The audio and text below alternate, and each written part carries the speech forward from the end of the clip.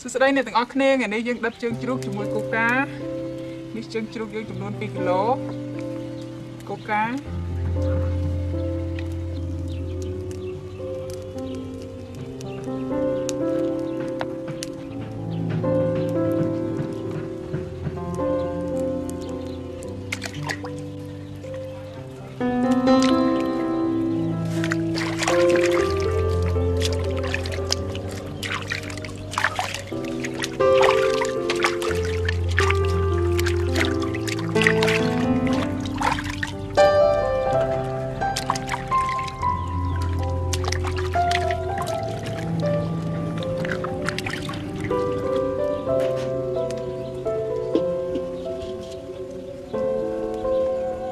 ស្ករក្រហមរ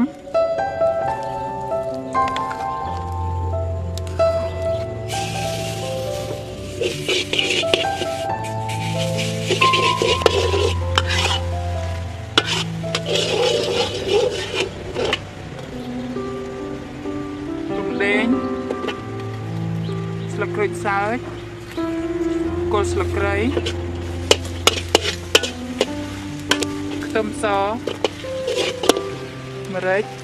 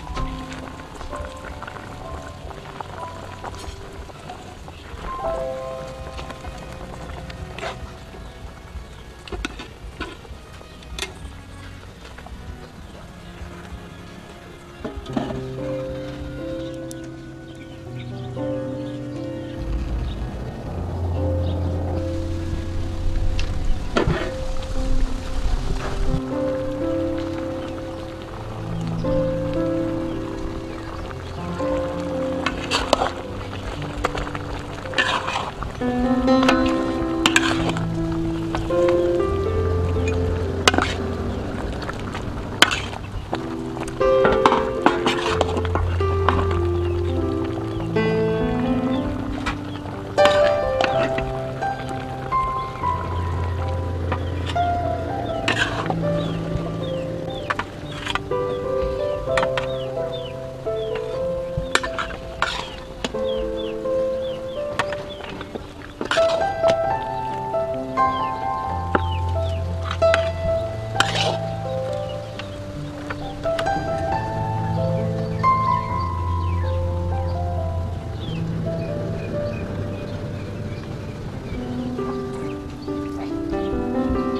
បាទឥឡូវយើងធ្វើរួចរាល់ហើយឥឡូវយើងមកភ្លក់ទាំងអស់គ្នាឈ្ងុយមែនតើ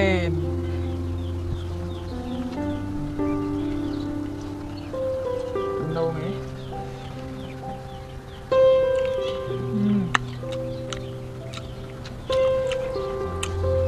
ជាតិមែនតើហ្មងណា